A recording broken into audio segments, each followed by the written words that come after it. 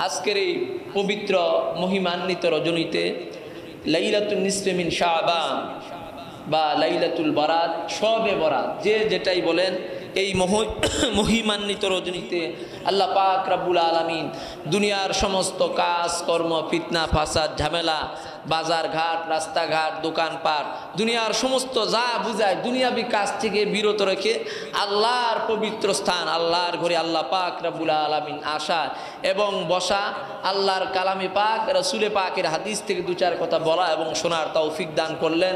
আল্লাহর দরবারে শুকর গুজার আদায় করি, তার প্রশংসা জ্ঞাপন করি, তার গুণগান গাই, তার গুণকীর্তন করি, সকলেই পড়ে নিই, আলহামদুলিল্লাহ। দরুদ সালাম পাঠ করে নিলাম, যিনি আমাদের নবী, শ্রেষ্ঠ নবী, মহানবী, বিশ্ব নবী সারওয়ারে কায়ানাত, নূরে মুজাসম দুলালে আমেনা বিশ্বনবী জনাবি মোহাম্মদ রসুল্লাহ সাল্লাহ সাল্লাম যার দেখানো পথ এবং মতেই মানুষের ইহকালীন শান্তি, পরকালীন মুক্তি আল্লাহ পাক রাবুল আলমিন নিহত করে রেখেছেন। সম্মানিত হাজিরিন, আমরা যারা আসছি মসজিদে বা যারা আমরা বসবাস করি, আমাদের দেশে তো প্রায় নব্বই ভাগের উপর মানুষ মুসলমান, পঁচানব্বই ভাগ মানুষ মুসলমান। সকলেই মুসলমান এবং মমিন দাবি করি। যেহেতু আমরা বংশগতভাবে মুসলমানদের ঘরে মমিনের ঘরে জন্মগ্রহণ করেছি, ভোটার আইডি কার্ডেও লেখা আছে যে ধর্ম হলো ইসলাম, সেই হিসাবে আমরা মুসলমান বা মমিন দাবি করি। কিন্তু মমিন শুধু মুখে দাবি করলে হয় না, তার জন্য কিছু গুণাবলী অর্জন করতে হয়। সে গুণাবলীটাও আমার, আপনার, যিনি প্রতিপালক মহান রাব্বুল আলমিন, সেটা কোরআনুল কারিমে সুরায় আলে আনফালের মধ্যে আট নম্বর সুরায়, নয় নম্বর পাড়ায় দুই, তিন, চার নাম্বার আয়াতের মধ্যে আল্লাহ পাক এটা বলে দিয়ে দিয়েছেন। তো সম্মানিত হাজিরিন, মমিন হওয়ার জন্য কিছু শর্ত বলে আছে এবং মমিনের কিছু বৈশিষ্ট্য বলে আছে। মমিন যে কাজগুলা করবে, এই কাজগুলা যদি করে, তাহলে সে মমিনের অন্তর্গত থাকবে। আল্লাহ পাক রাব্বুল আলামিন কোরআনুল কারীমের মধ্যে ঘোষণা করেন, ইন্নামাল মুমিনুনা আল্লাযীনা ইযা যুকিরাল্লাহু ওয়াজিলাত কুলুবুহুম ইযা তুলিয়াত আলাইহিম আয়া মুমিন বান্দির মুমিন বান্দার জন্য, মমিন ব্যক্তির জন্য সুরাই আলফান, আনফালের মধ্যে আল্লাহ পাক রাব্বুল আলামিন পাঁচটা গুণাবলীর কথা বলেছেন। এই পাঁচটা গুণ যদি মমিনের মধ্যে থাকে কোনো মুসলমানের মধ্যে থাকে বা আমাদের কারুর মধ্যে থাকে, আমরা মমিন হিসাবে দাবি করতে পারি। এই পাঁচটা গুণাবলী কি? এক নাম্বার গুণাবলী হলো, মমিন হলো যারা, ইন্নামাল মুমিনুনাল্লাযীনা ইযা যুকিরাল্লাহ। ইযা যুকিরাল্লাহু ওয়াজিলাত কুলুবুহুম। মমিন হলো তারা যার অন্তরে আল্লাহর ভয় আছে, আল্লাহকে ভয় করে যারা মমিন হলো তারা বলেন সুবাহান আল্লাহ এক নাম্বার গুণ হইল, মমিন আল্লাহর ভয় করবে, আল্লাহকেই ভয় করবে। দুনিয়ার কোনো শক্তিকে রাজা, বাদশাহ, দুনিয়ার কারুই ভয় করবে না, তার অন্তরে একমাত্র ভয় থাকবে। আল্লাহ রাব্বুল আলমিনের দুনিয়াবি কোনো কারু ভয় থাকবে না। হজরতে ওমর রাজি আল্লাহ তালান উনি হলেন আমিরুল মুমিনিন। খলিফাতুল মুসলিমিন, মুসলমান জাহানের, মুসলিম জাহানের দ্বিতীয় খলিফা। ওনাকে আল্লাহ পাক এতই শক্তি, সামর্থ্য প্রজ্ঞা, মেধা দিয়েছিলেন, সূর্য যেই থেকে ওঠে এবং যেই দিকে অস্ত যায়, ওই ওঠা এবং ডোবার মাঝে অর্ধ জাহানের খলিফা, অর্ধ জাহানের শাসক আল্লাহ পাক রাব্বুল আলমিন তাকে দেখে নিয়েছিলেন, তিনি শাসন করেছিলেন বলেন আলহামদুলিল্লাহ। হজরত ওমর রাদি আল্লাহ তালান উনি মুসলিম জাহানের খলিফা ছিলেন, শাসক ছিলেন। উনি মানুষ তার শাসন আমলে মানুষ যেন ভালোভাবে চলে, ভালোভাবে খায়, ভালোভাবে থাকে। তার জন্য উনি সাধারণ পোশাক পরে, রাজকীয় পোশাক না পরে, সাধারণ পোশাক পরে মানুষের দুয়ারে দুয়ারে, মানুষের বাড়িতে বাড়িতে যাইতেন, না দেখে যাইতেন, রাস্তাঘাটে চলতেন যে মানুষ কোন হালে আছে, কোন অবস্থায় আছে, এটা উনি কি করতেন? অবলোকন করতেন, দেখতে চাইতেন। দেখতে চাইতেন, একদিন উনি এক রাস্তা দিয়া যাইতেছেন, ঘর থেকে আওয়াজ আসতেছে। বাবাকে, মেয়েটাই বলতেছে যে যে দুধ সে দহন করেছে, বাজারে গিয়া বিক্রি করবে। যে পরিমাণে, যেই পরিমাণে পাত্রের মধ্যে হওয়ার কথা, তার থেকে একটু কম হয়েছে। বাবাই মেয়েকে বলতেছে, যেই পরিমাণ কম আছে, যে সামান্যটুকু কম আছে, ওইটুকুর মধ্যে পানি দিয়া ভরাট করে দাও, তাহলে আমি একটু বেশি পয়সা পাবো, সমান পয়সা পাবো। ও একটুর জন্য কম পড়ে যাবে, অনেকে নিতেও চাবে না। দিয়া যাবে মেয়ে বলতেছে যে, না, আমি দিতে পারব না। এই দেশটা হলো শাসন করতে হলো ওমর ইবনুল খাত্তাব। উনি হলেন মুসলমান জাহানের খলিফা। উনি যদি জানতে পারে ওনার নির্দেশ ফরমান জারি করছে, দুধের মধ্যে পানি মিশানো নিষেধ। যার যেটুক হয়, ন্যায্য মূল্য দাম পাবে, পানি মিশানো যাবে না। এ আমি এই কাজ করতে পারব। এই কথা বলতেছে বাবাই বলতেছেন মা, এখন তো খলিফা ওমর এখানে নাই, তুমি পানি মিশিয়ে দাও। বলতেছে, আমি পারব না। আবার বলতেছে, তুমি পানি মেশাও? সে বলতেছে, আমি তো পারব না। বলতে কেন পারবে না? কয় হজরত তোমার এখানে নাও থাকতে পারে। আমার মালিক, আপনার মালিক, ওমরেরও মালিক, আল্লাহ রাব্বুল আলামিন, উনি তো অবশ্যই দেখতেছেন। বলেন সুবাহান আল্লাহ এই কথা বেড়ার আড়াল থেকে রাস্তা থেকে শুনতেছেন মুসলমান জাহানের শাসক আমিরুল মুমিনিন, খলিফাতুল মুসলিমিন হজরত ওমর রাজি আল্লাহ তালান উনি পরের দিন সকালবেলা খবর পাঠিয়ে দিলেন রাজ দরবারের লোক পাঠিয়ে দিলেন। সৈন্য সামন্তেরা খবর পাঠাইলেন যে গোয়ালিনী যে আছে, তারে খবর দাও। আসলেন দরবারে। আসার পর সবাই উপস্থিত আছে, জিজ্ঞাসা করল যে তোমার ঘরে একটা মেয়ে আছে? বলে হ্যাঁ। বল যে, মেয়েটা কি বিয়ে হয়েছে? যে বিয়ে হয় নাই। এমন সময় গোয়ালিনী গোয়াল সে থর থর কাঁপ কাঁপতেছে কি ভুল মান হয়ে গেছে আমার। আমি আমিরুল মুমিনের সামনে আসলাম। আমি তো কথাই বলতে পারতেছি না। বলে তোমার মেয়েটা যদি বিবাহ হয়ে না থাকে আমার একটা ছেলে আছে। তার নাম হলো আব্দুল্লাহ। সকলেই বলেন নাম কি? তার নাম হলো আব্দুল্লাহ। কত সুন্দর নাম। আল্লাহর নিকট দুইটা নাম হলো সর্বশ্রেষ্ঠ। একটার নাম হলো আব্দুল্লাহ, আরেকটার নাম হলো আব্দুর রহমান। বুখারি শরীফ খুলে দেখেন, মুসলিম শরীফ খুলে দেখেন মেসকাজ শরীফ খুলে দেখেন, তিন কিতাবের মধ্যে আসছে। নাম, সবচেয়ে উত্তম নাম হলো মেসকাজ শরীফের কিতাবুল আদাবের এটা আসছে যে নাম, সর্বোত্তম নাম হলো আল্লাহর নিকট আবদুল্লাহ এবং আব্দুর রহমান। আবদুল্লাহ তা আল্লাহর বান্দা আর আব্দুর রহমান রহমানের বান্দা, দয়ালুর বান্দা, দাতার বান্দা। এই নাম দুটো আল্লাহর কাছে সবচেয়ে বেশি পছন্দনীয়। তো আমার একটা ছেলে আছে, তার নাম হলো আবদুল্লাহ। তো নামের বিষয়ে কেন আসলাম? নামের আমাদের দেশে এখন কিন্তু নাম অনেক বেনাম হয়ে যাইতেছে। নাম শুনলে বোঝা যায় না যে মুসলমানের সন্তান না হিন্দু ধর্মের সন্তান না কোন ঘরের সন্তান, এটা আছে না নাই? কিন্তু মুসলমানের ঘরে জন্মগ্রহণ করলে বাপ মার এক নাম্বার কর্তব্য হইল তাকে একটা ভালো নাম রাখা, ইসলামী নাম রাখা। ইসলামী নাম কি নাম? এক নাম্বার হলো সে নবীদের নাম রাখতে পারে, সাহাবাদের নাম রাখতে পারে, বড় বড় আল্লাহওয়ালা বুজুর্গদের নাম রাখতে পারে, তাবি তাবিন ইমাম, আইয়ামে মুস্তাহিদিন, এরকম অলি আল্লাহদের নামে নাম রাখতে পারে। এই নাম রাখলে আল্লাহ পাক রাব্বুল আলিম নামের উসিলে হাসরের মাঠে নাজাদ দিয়া দিতে পারেন। কিন্তু আমার দেশে অনেক নাম শোনা যায়। আকাশ, বাতাস, সাগর, এরকম বহু নাম রাখে, সেগুলার কোনো অর্থবহ নাই। একজন মানুষের নাম, সে যদি অর্থ না বোঝা যায়, এখানে যারা মুরব্বী আছেন, এখানে আমি যদি একদিক থেকে নাম জিজ্ঞাসা করি নাম আসবে ধর্মীয় নাম, আরবি নাম আসবে। আর পরের প্রজন্ম যারা আসে, এগুলার জিজ্ঞাসা করি, অনেকটা ব্যতিক্রম হইলে হইতে পারে। কয়েকদিন আগে আমি এক জায়গায় দাওয়াতে গেছি, আমার নিকটাত্মীয় আমার এলাকায়, বাড়ির পাশে। ধনাট্যশালী মানুষ। চাচা বাইরে থাকেন চাষি থাক, দেশে আছেন। তখন একজন বুড়া মানুষ খাওয়া দাওয়া শেষ, দোয়া খায়ের করে চলে আসতেছি। তখন দাদি বলতেছে যে, পিস পিস, আমার চশমাটা পেইতেছি না, খুঁজে আমার একটু বাইর করে দাও। আমি এখন তখন দাঁড়াইলাম যে, আমি আর একটু বোঝার আছি। যে কারবার কি? যে পিস তো মানুষের নাম হতে পারে না। পিস নাম রাখছে। পরে তারে জিজ্ঞাসা করলাম যে দাদি আপনি যে ডাকতেছেন, পিস পিস কইয়া পিস কে? বলে যে, আমাদের যে ছোটো গেদা আছে, আমার ছোট ছেলে, এই ছোট ছেলের ছোট একটা পোলা হয়েছে, তুমি জানো না? বলে যে, জানি। তার নাম রাখছে আমাকে বৌমা পিস।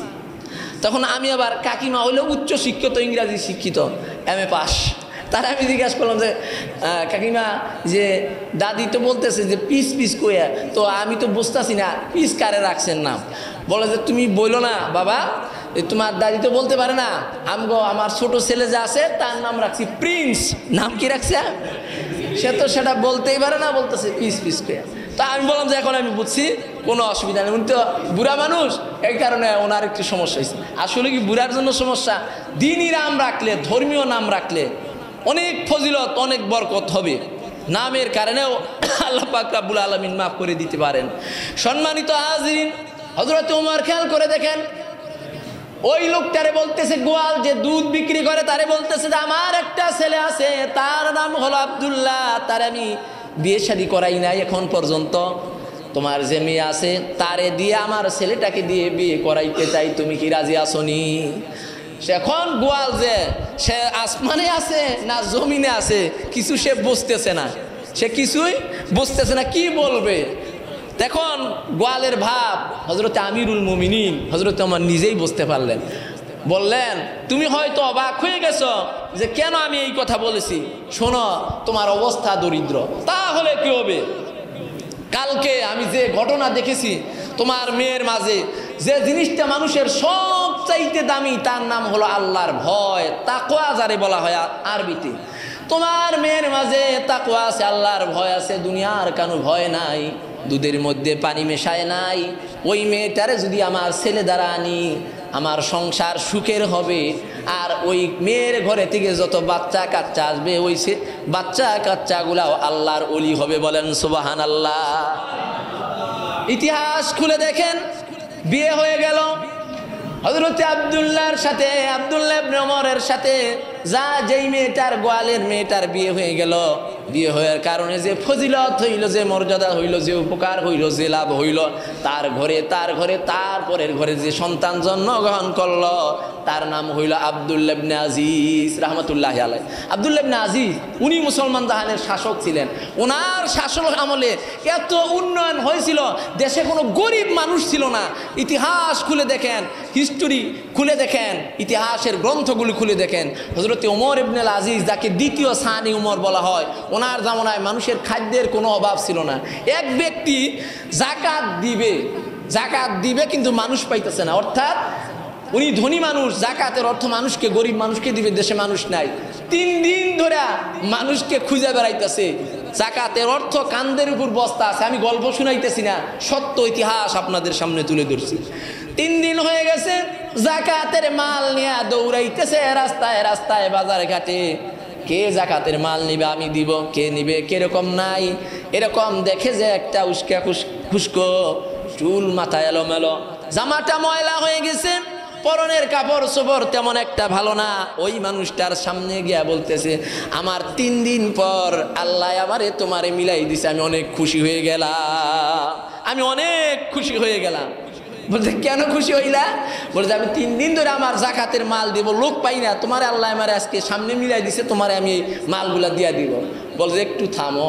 বলছে কেন থামবো? ওই তুমি যে কথা বলতেছ, তুমি যে পথের পথিক, একই পথের পথিক আমি আজকে সাত দিন ধরে ঘর থেকে বের হয়েছি। বাড়ি ফেরার সময় পাই নাই। জাকাতের মাল বিলাইয়া দিব, কোনো লোক পাইতেছি না। তুমি আমারে দেওয়ার জন্য আসছ। দিন ধরে বাড়ির যাই না খাওয়া না, দাওয়া না, গোসল না, আমার কাপড় চোপড়ের এই অবস্থা। আর তুমি তিন দিন ধরে ঘুরে আমার কাছে আসছো, আমার দেওয়ার জন্য। ওনারা ছিল শাসক, ওনারা ছিল মুসলমানদের প্রতিনিধি, ওনারা ছিল মুসলিম জাহানের প্রতিনিধি। আর আমার দেশে যদিও ভোটার তালিকায় কাগজে, কলমে মুসলিম প্রধান রাষ্ট্র দেশ কিন্তু আমার দেশে কি অবস্থা? আমার এক চাষা চেয়ারম্যান হয়েছে। আমি খুব একটা যাই না, খুব করে দাওয়াত দিছে, তোমার যাইয়া প্রথম দোয়াটা তোমারই করে দিতে হবে। গেছি যে দিই মানুষ ধরাইতেছে না। কোনো রকম আমার বিলি দিয়া নিয়ে সামনে ঢুকাইলো, দোয়া খায়ের করব, মিষ্টি আনছে ছয় মন। ছয় মন মিষ্টি আনছে, এ কয়েক দিনের ঘটনা এটা। ছয় মন মিষ্টি ডিশে ডিশে রাইখা দিছে। রাইখা দেওয়ার পর যারা ইউনিয়ন পরিষদের চৌকিদার, তারা মিষ্টিগুলা বিলাইয়া দিবে। চেয়ারম্যান সাহেব বইলা দিছে মিষ্টিগুলা বিলাই দিবে, মানুষ আর ধৈর্য কুলাইতেছে না ডিশের উপর থেকে যার যেটুকু মন চাই নিয়ে নিয়ে খাইতেছে। তো ধৈর্য মানুষের কোলে না, অর্থাৎ দেওয়ানা আলাও যারা হ্যাঁ আর নেওয়ানা আলারা সমান হয়ে গেছে। তারাও জানে যে একদিক থেকে দেওয়া শুরু করলে যেই পরিমাণ মানুষ আছে এই ছয় মন মিষ্টি কিচ্ছুই হবে না। যদি পরে আবার না পাই আর নিউনালা ভাব, আর দেওয়ালারাও তারা ওই পরিমাণ কন্ট্রোল করে মানুষকে দেওয়ার জন্য আগ্রহ করা দরকার ছিল। সম্মানিত আজিন আমার দেশে বিভিন্ন রকম জিনিসপত্র আসে। আমার দেশে বিভিন্ন রকম জিনিসপত্র আসে, বিভিন্ন জিনিস আছে যেইখান থেকে আসে, সেইখান থেকে সঠিক পর্যন্ত পৌঁছায় না। তাই যদি হইতো, আমার দেশের মানুষ এখনও কঠিন অবস্থায় হইতো না। আজ থেকে দেশ স্বাধীন হয়ে গেছে, বহু বছর হয়ে গেছে। মানুষ ঠিক মতো খাইতে পারতো, পড়তে পারতো, চলতে পারতো। মানুষের অভাব অনটন এখন আর থাকার কথা ছিল না। কিন্তু বরঞ্চ দিন যাইতেছে, মানুষের কষ্ট। জিনিসটির মূল্য দিন দিনকে বৃদ্ধি হয়ে যাইতেছে, মানুষের চলা কঠিন হয়ে যাইতেছে। ইসলাম শুধু পাঁচত্ব মসজিদে আসবেন, সকালে একশোবার মাইরা দিলেন, লা ইল্লাল্লাহ আর বিকালে মাগরেবের নামাজের ফজর নামাজের পর আর মাগরেবের পর। তাই না? মানুষ কীভাবে শান্তিতে থাকবে, কীভাবে শান্তিতে ঘুমাবে, মানুষের কোনো কষ্ট থাকবে না। মানুষ না খেয়ে থাকবে না, সবাই শান্তিতে থাকবে, চুরি থাকবে না, ডাকেতে থাকবে না, রাহাজানি থাকবে না, শান্তির সমাজ প্রতিষ্ঠা হবে। এই জন্যই আমার নবী আসমান থেকে এই দুনিয়ার জমিনে আসছিলেন। কোরআনে কারিমের মধ্যে আল্লাহ নিজেই ঘোষণা করেছেন, ওয়ামা আরসালনাকা ইল্লা রাহমাতাল লিল আলামিন তাম দুনিয়ার জন্য তাম পৃথিবীর জন্য আল্লাহ পাক রাব্বুল আলামিন আমার আপনার নবীকে রহমতের নবী করে দুনিয়ায় পাঠিয়েছেন। নবীজি নিজে না খেয়ে থাকতেন, মানুষকে খাওয়াইতেন। নিজে নিজের পেটে খানা ছিল না তারপরে মানুষের দুয়ারে দুয়ারে খানা পৌঁছানোর জন্য চেষ্টা করতেন। নবীজি করছেন, নবীজির দুনিয়ার থেকে যাওয়ার পর নবীজি যাদেরকে রাইখা গেছিলেন তারা নবীজির সাহাবি। তাদের মধ্যে যে হজরতে উমরের কথা বলতেছিলাম হজরতে উমর নিজের ছেলেকে বিয়ে করাইলেন, গোয়ালের মেয়ে, সেই ঘরের ফজিলত হইল যে আল্লাহকে ভয় করে। তার জন্য মমিনের এক নাম্বার গুণ হইল আল্লাহকে ভয় করতে হবে তাকোয়া থাকতে হবে। এক নাম্বারে মমিন হলো তারা আল্লাহকে ভয় করে যারা। মমিনের দুই নাম্বার গুণ হল আল্লাহ রাব্বুল আলামিন সূরা আনফালের মধ্যে আল্লাহ কোরআনের মধ্যে ঘোষণা করিতেছেন, ওয়া ইযা তুলিয়াত আলাইহিম আয়াতুহু জাদাতহুম ঈমানা। আল্লাহ রাব্বুল আলামিন নিজে মুমিনের দুই নাম্বার বৈশিষ্ট্য, দুই নাম্বার গুণ বলে দিতেছেন। মুমিন হলো তারা যারা কোরআন শরীফ, আল্লাহর পবিত্র কোরআন তাদের সামনে যদি তেলাওয়াত হয়, তারা যদি শুনতে পারে, তাদের ইমানের জোর ইমান বেড়ে যাবে। তাদের ইমান বেড়ে যাবে। মমিন যারা থাকবে, তাদের সামনে কোরআন শরীফ থেকে যদি আলোচনা করা হয়, কোরআনের ব্যাখ্যা করা হয়, কোরআনের বিশ্লেষণ করা হয়, কোরআন তেলাওয়াত করা হয়, তাদের ইমানের শক্তি, জজবা কি হয়ে যাবে? বেড়ে যাবে। আল্লাহ রাব্বুল আলামিন মমিনের তিন নাম্বার গুণ তারপরে বলতেছেন, ওয়ালা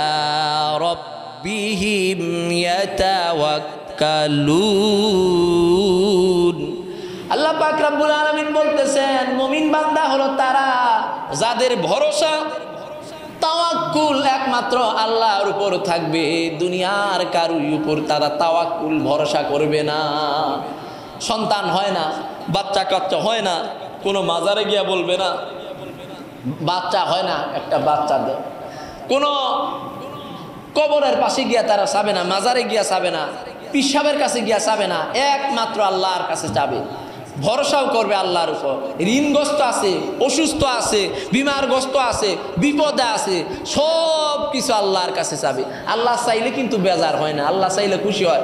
দুনিয়ার চেয়ারম্যান মেম্বার বড় বড় এমপি মন্ত্রী একবার সই দুইবার যাবেন প্রথমবার দিবে, আবার যাবেন, দিবে, তৃতীয়বার সময় বেজার হয়ে যাবে, আর আর দিবে না। কিন্তু আল্লাহ কিন্তু তা না। আল্লাহ নিজে চাইতে বলছেন, তার প্রমাণ সুরায় ফাতে খুলে দেখেন। কোরআন শরীফ খুললেই যে সুরা পাওয়া যায়, সেই সুরায় আল্লাহ বলতেছেন আল্লাহ বলতেছেন ইয়াকা না'বুদু ওয়া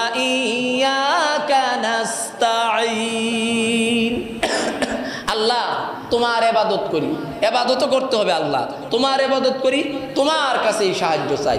আল্লাহর কাছেই চাইতে হবে, দুনিয়ার কোনো কারু কাছে, মানুষের কাছে চাওয়া যাবে না। তাহলে মমিন নাম, মমিন বান্দার তিন নাম্বার গুণ, তিন নাম্বার বৈশিষ্ট্য হলো যে আল্লাহর উপর তারা তাওয়াক্কুল থাকবে, ভরসা থাকবে আল্লাহর উপর। মমিন নাম বান্দার চার নাম্বার বৈশিষ্ট্য, সুরান ফালের মধ্যে আল্লাহ নিজে বলে দিতেছেন সালাহ মমিন বান্দা হলো তারা যারা ঠিক মতো নামাজ কায়েম করে।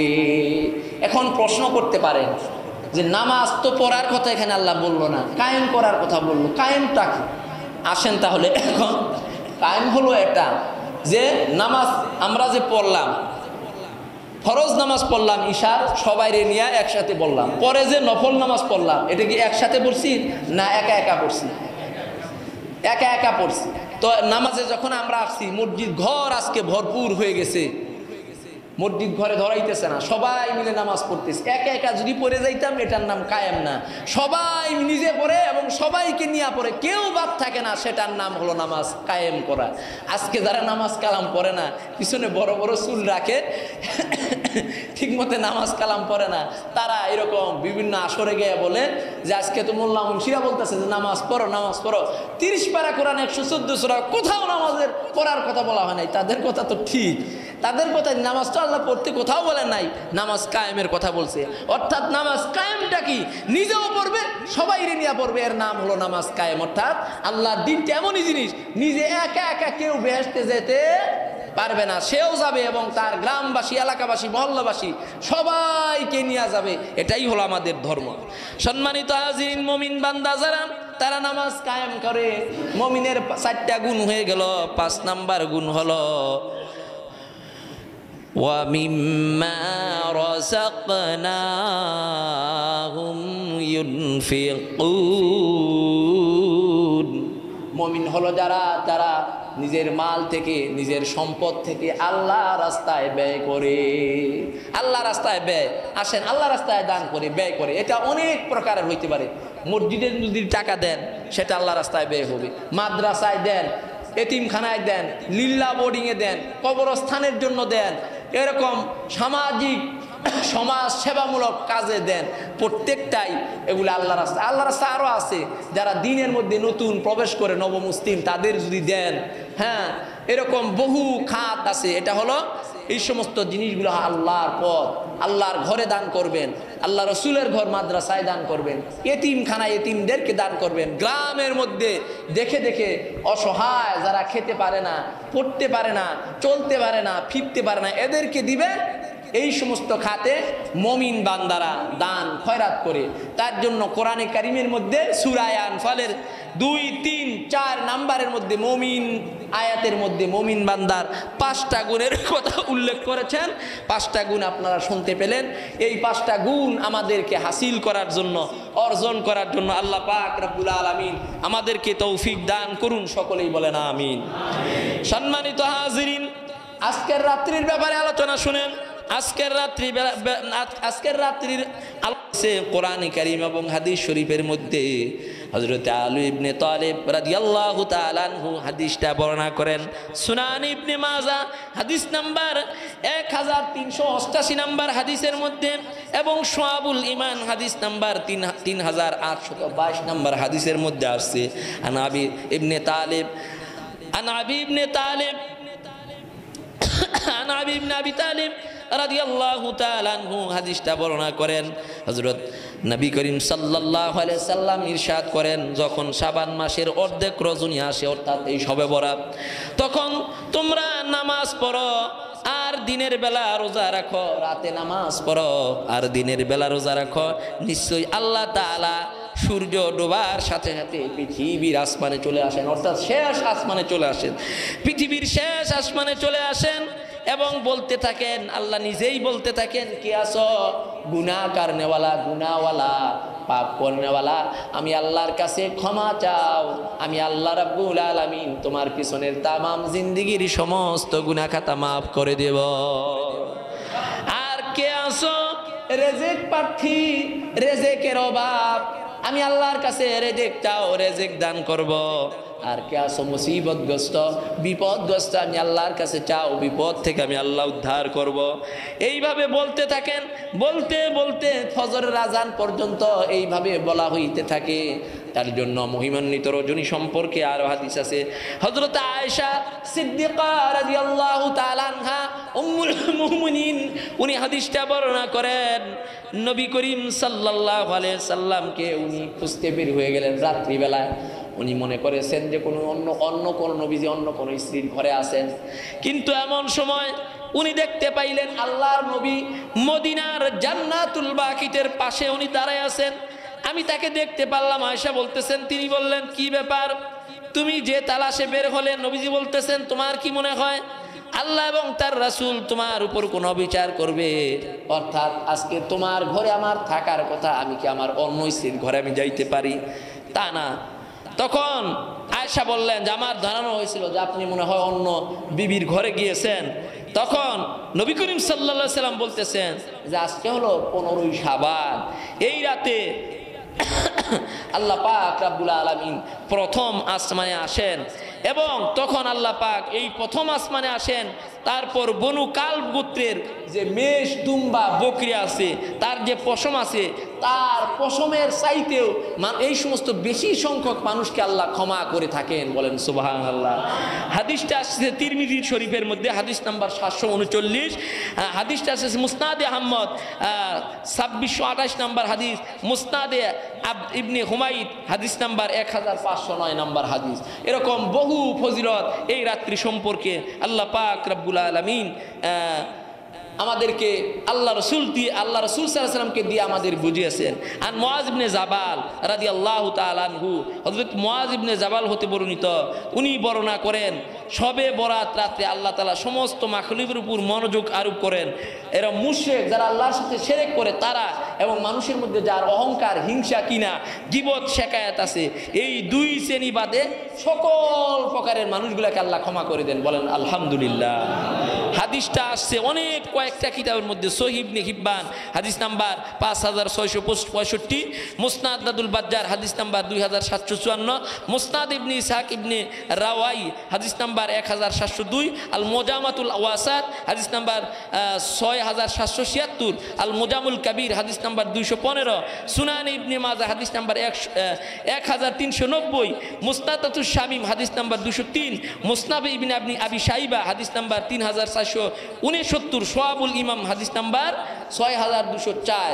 এতগুলা কিতাবের মধ্যে হাদিস এই আজকের রজনীর ফজিলত সম্পর্কেই বর্ণনা করা হয়েছে।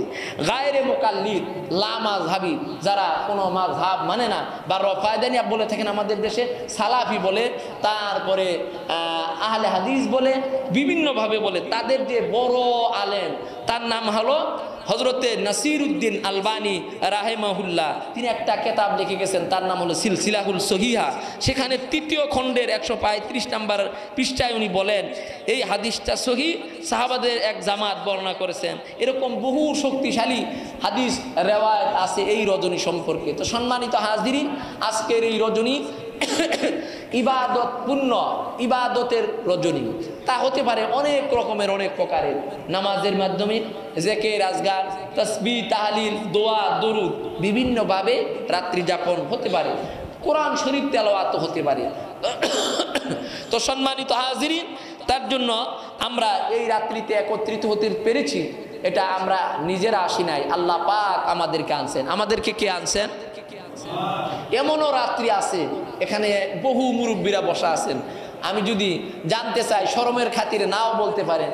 বহু রাত্রি বন্ধু বান্ধবদের সাথে বৈশাখ রাত্রি, রাত্রিবেলায় বসছেন। ফজর পর্যন্ত আড্ডা দিয়ে আলাপ আলোচনার মধ্যে রাত্রি গুজার হয়ে গেছে। এরকম রাত্রি আছে না? অনেক সময় হয়ে গেছে, আলাপ, আলোচনা, আত্মীয় স্বজন, বাড়ি, দাওয়াত, অনুষ্ঠান বিভিন্নভাবেই সময় বের হয়েছে। কিন্তু আল্লাহর রাহে, আল্লাহর দিনের জন্য ইমানের জন্য, ইবাদতের জন্য রাত্রি যদি গুজার হয়, এটা অবর্ণনীয় সোয়াব আমলের ভান্ডার তার আমল নামায় জমা হবে। আল্লাহর ঘরে আসছেন, বসে আছেন, এবাদত বন্দিগি করতেছেন না, নামাজ পড়তেছেন না, শুধু বসে আছেন। আলাপ আলোচনা শুনতেছেন, বিশ্বাস করুন, এই আলাপ শুনতেছেন, আলোচনা শুনতেছেন, কোরআন, হাদিসের আলোচনা শুনতেছেন, দাঁড়ায়া দাঁড়ায়া নফল নামাজ পড়লে যে সব হইতো, আপনাদের আমল নামার মধ্যে ওই সম পরিমাণ সব আল্লাহর রহমতের ফেরেস তারা লিখতেছেন, বলেন সুবাহান আল্লাহ আল্লাহ আল্লাহ আল্লাহু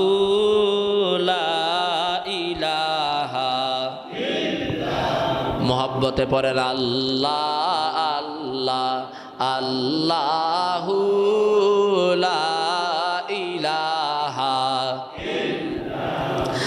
আল্লাহ পাকের প্রিয় হাবিব মোহাম্মদ রাসূল।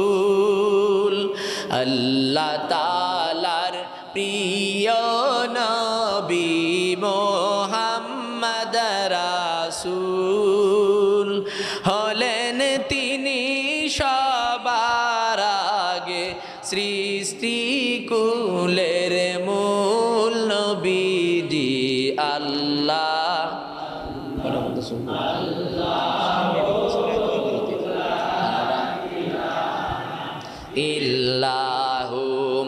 মোহব্বতে পড়েন আল্লাহ আল্লাহ।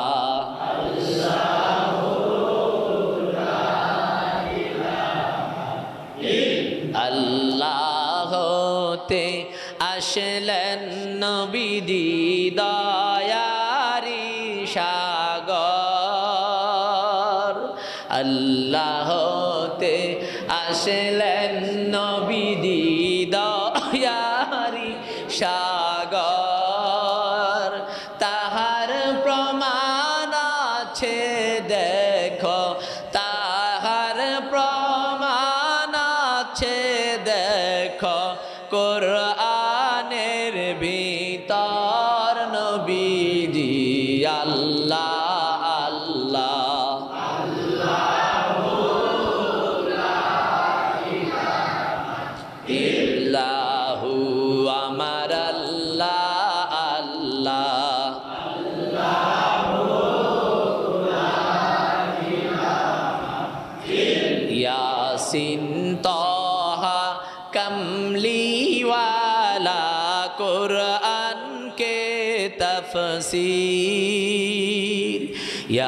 ইয়াসিন তহা কমলিওয়ালা কুরআন কে তফসির।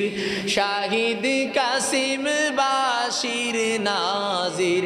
শাহিদ কাসিম বাশির না যেটা হয়, জুমার দিনে এক নাম্বার আজানটা প্রথম যেটা হয়, এটা রসুলের জামনায় ছিল। দ্বিতীয় আজান যে আর একটা ইমাম সাহেবের সামনে দেয়। এই আজানটা হুজুরের জামনায় ছিল না। এই আজানটা হজরত ওমর চিন্তা ভাবনা করলেন। হজরত ওমরের কথা বলতেছিলাম, উনি এমনই বিজেতা শাসক ছিলেন, এতই প্রাজ্ঞ, জ্ঞানীবান ছিলেন। ওনার শাসন আমলে সূর্য যেখান থেকে উঠত আর যেইখানে ডুবত, এই অর্ধেক পৃথিবীর শাসনকর্তা উনি নিজে ছিলেন, উনি খলিফা ছিলেন। তখন মুসলমানদের সংখ্যা দিন দিন বেড়ে গেল। নামাজে মানুষ আসবে, সঠিক টাইমে আসতে পারে না। উনি একটা ফরমান জারি করলেন যে, এক নাম্বার আজান থাকবে জুমার দিনে। মানুষজন যেন বুঝতে পারে আজকে জুমার দিন, সবাই যেন নামাজের প্রস্তুতি নেয়। দ্বিতীয়ত যে আজান আরেকটা হবে, সামনে যেটা আমাদের দেশে হানাবিরা দেয়, আর অন্য মাঝহাব যারা, বিশেষ করে আহলে হাদিস, তারা কিন্তু ইমাম সাহেবের সামনে দেয় না। আপনারা যদি কেউ বল্লা, রামপুর ওইদিকে নামাজ পড়ে থাকেন, তারা আরেকটা আজান দেয়, সেটা মসজিদের বারান্দার কাছে গিয়ে দেয়। আরেকটা আজান তো দেয় কোথায়? সরাসরি যেটা বরাবর মাইকে আমরা যেটা দিয়ে থাকি। আজান কিন্তু আবার তাদেরটা, আমাদেরটা হানাফি সাফি মালিকি, হাম্বলি, আহলে হাদিস, রফাদানি, সবারই একটাই। আজানের মধ্যে কোনো তফাৎ নাই। আকামত আমরা দুইবার বলি, ওনারা শুধু একবার বলে। ওই আজানটা ওনারা কি দেয়? বারান্দায় দেয়। আমাদেরটা দেয় ইমাম সাহেবের সামনে। কোনো সমস্যা নাই। এটা চালু হয়েছে হজরত ওমর ইবনুল খাত্তাব রাদি আল্লাহ তালাম ওনার জামনায়।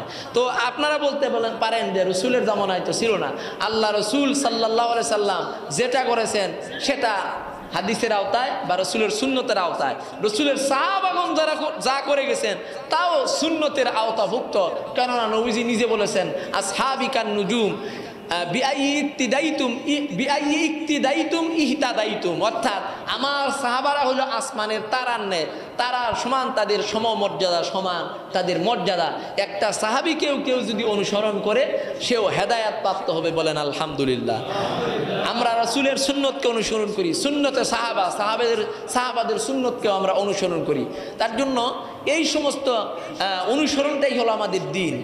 যেমন আমরা সুরা ফাতেহার মধ্যে বলি صراط الذين أنعمت عليهم আল্লাহ তাদের পথ দেখাও তাদের পথে চালাও যাদের উপর তোমার নিয়ামত রহমত নাজিল হয়েছে নিয়ামত রহমত চার প্রকারের মানুষ পেয়েছে নবী করিম সাল্লাহ সাল্লাম একদিন রাস্তা দিয়ে হাঁটে যাইতেছেন সাহাবারা তার পিছনে আছে নবীজি একটা রাস্তা খুব দ্রুত গতিতে পার হয়ে গেলেন আল্লাহর নবীকে সাহাবারা জিজ্ঞাসা করল, ইয়া রাসূল আল্লাহ ইয়া হাবিব আল্লাহ এই জায়গাটা কেন আপনি অতি তাড়াতাড়ি পার হয়ে গেলেন? আল্লাহর নবী বললেন যে, আমি নবীজি, জন্মের দুই থেকে তিন বছর আগে এখানে আল্লাহর আসমান থেকে আবাবিল পাখি আইসা গজব নাজিল করেছিল। এর কারণে আমি নবীজি এই জায়গাটা অতি তাড়াতাড়ি পার হয়ে গেলাম। কঙ্কন নিক্ষেপ করে আব্রাহা নামে একজন খ্রিস্টান বাদশাহ, তার হস্তি বাহিনী, হাতি বাহিনী সব মাটির সাথে, ধুলির সাথে মিশা যায়। তার জন্য এই জায়গাটা আমি তাড়াতাড়ি পার হয়ে গেলাম। তখন সাহাবারা রসুলের দরবার আরস করল, ইয়া রসুল আল্লাহ ইয়া হাবিব আল্লাহ সেই গজবটা নাজিল হয়েছে কত বছর আগে? আপনি আজকে কেন তাড়াতাড়ি পার হয়ে গেলেন? নবীজি সাহাবাদেরকে বলতেছে যে, গজব নাজিল হয়েছিল অনেক আগে, এখন হয় নাই। কিন্তু আমি নবীজি তাড়াতাড়ি পার হইলাম, গজবের জায়গায় মমিন মুসলমানরা থাকে না। মমিনরা কোথায় থাকে? রহমতের জায়গায় থাকে। মমিনরা কোথায় থাকে? রহমতের জায়গা হইল যে আল্লাহর ঘর মসজিদ। এই আল্লাহর ঘরে সময় দিবেন। যখন সময় পান হ্যাঁ নামাজে তো আসবেনই, নামাজের আগেও আসবেন। আজানের আগে আইসা বৈশা তাজবি, তাহালিল পাঠ করবেন। নামাজ শেষ হবে, তারপরেও কিছু সময় বৈশা হ্যাঁ কিছু দোয়া, দরুদ ইস্তেকফার পাঠ করবেন।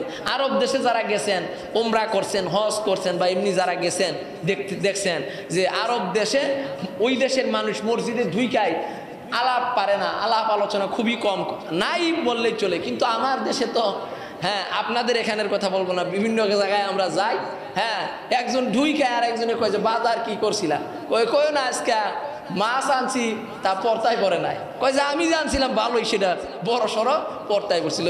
পরিবারের বিভিন্ন সাংসারিক আলাপ পারে, কিন্তু আরব দেশে তা না। মসজিদে ঢোকা শেষ তাকে তাকে শত শত কোরআন শরীফ রাখা আছে। আর ওই দেশের মানুষ সব কোরআন শরীফ পড়া জানে। হ্যাঁ ওই দেশের মানুষের দোষ আছে, ত্রুটি আছে, গুণও আছে অনেক। কিন্তু আমরা তো গুণগুলা দেখি না। বাই করে তাকে থেকে কোরআনগুলা বাইর করে নীরবে আস্তে আস্তে আরেকজনের ক্ষতিও যেন না হয়, এরকম করে কোরআন শরীফ পড়বে। নামাজের টাইম হয়ে গেছে, সবাই দাঁড়ায় গেছে, কোনো কথা নাই।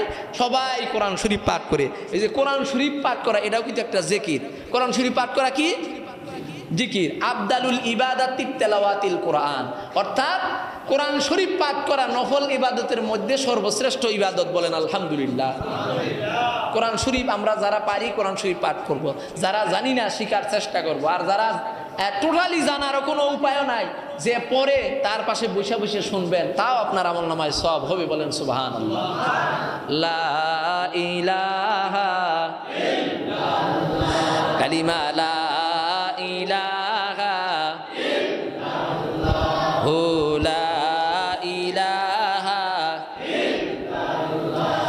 হাসবি রাব্বি জাল্লাল্লাহ পাহাড় পর্বত গাইরুল্লাহ হাসবি রাব্বি জাল্লাল্লাহ আসমান জমিন। হাসবি রাব্বি জাল্লাল্লাহ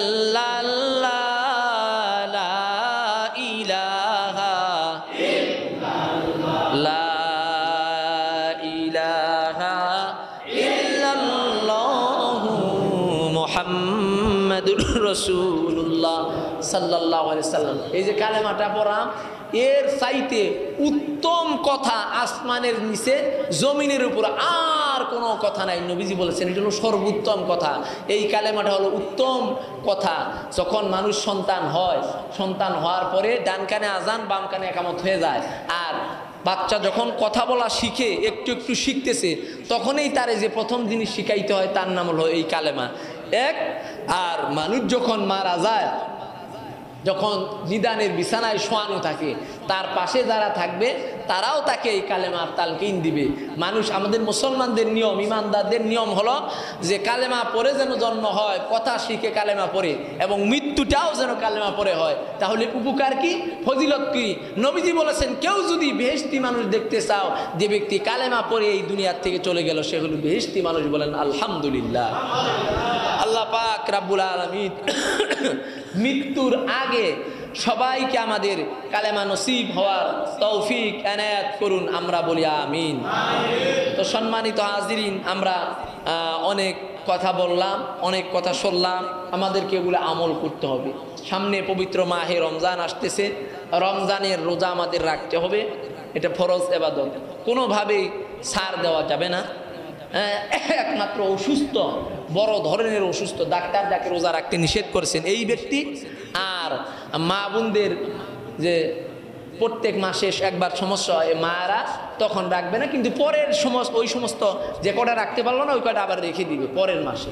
মাদের এই সমস্ত সময় একটু ছাড় আছে, আর আমাদের কেউ যদি ভ্রমণে থাকে, এটারে বলে মুসাফির, এটার কি বলে? মুসাফির অবস্থায় যদি থাকে মুসাফির অবস্থায় থাকলে পরে সে রোজা ফরজ রোজাও নাও রাখতে রাখতে পারে। কিন্তু যদি রাখে, তাতে কোনো অসুবিধা নেই, রাখলে রাখবে।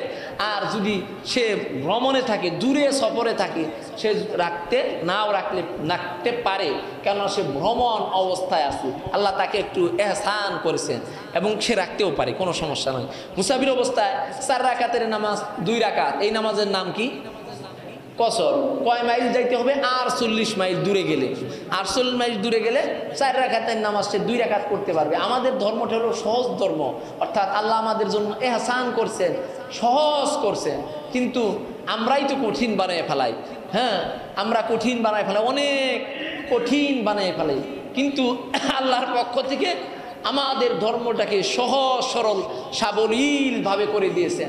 দেখেন অন্য অন্য ধর্মে এরকম তারা উপবাস করে। কি করে? তো মুরব্বীরা আছেন। আপনারা তো বলতে পারবেন, হিন্দু ধর্মে যে উপবাস করে, তারা কি সকালবেলা সাইডে করে খাইয়ে নেয়? একবারে অনাহারে অবস্থায় থাকা শুরু করে। হ্যাঁ তারা কি করে না?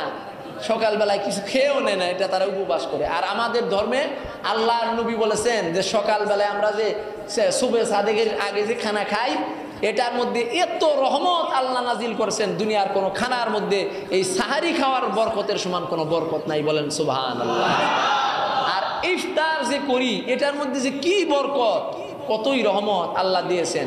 কেউ যদি রোজা রাখে, সে ইফতার করবে, কর- করবে এবং কেউ রোজা রাখছে, তার ইফতারি নাই, তারে যদি আরেকজন মানুষ ইফতারি করায়, যে ব্যক্তি রোজা রাখল, ইফতারি আর যে করাইলো যে রোজা রাখছে আর যে ইফতারি করাইছে, দুইজনের মাঝে রোজা রাখলে যে সব সমান পরিমাণ সব আল্লাহ রহমতের ফেরেস্তারা লিখে দিবেন। কিন্তু যে রোজা রাখল, আরেকজন বাড়িতে গিয়া ইফতার করল, কিন্তু তার রোজার সব কিন্তু কম হবে না। সম্মানিত হাজরি রমজান মাসে রোজাটা আমরা ইনশাল্লাহ রাখব, তারাবি নামাজ পড়ব। লাইলাতুল কদর সামনে আসতেছে, আমরা লাইলাতুল কদরের ইবাদত বন্দি করব। আল্লাহ পাক আমাদের তৌফিক এনে নসিব করুন, সকলেই বলে না আমিন।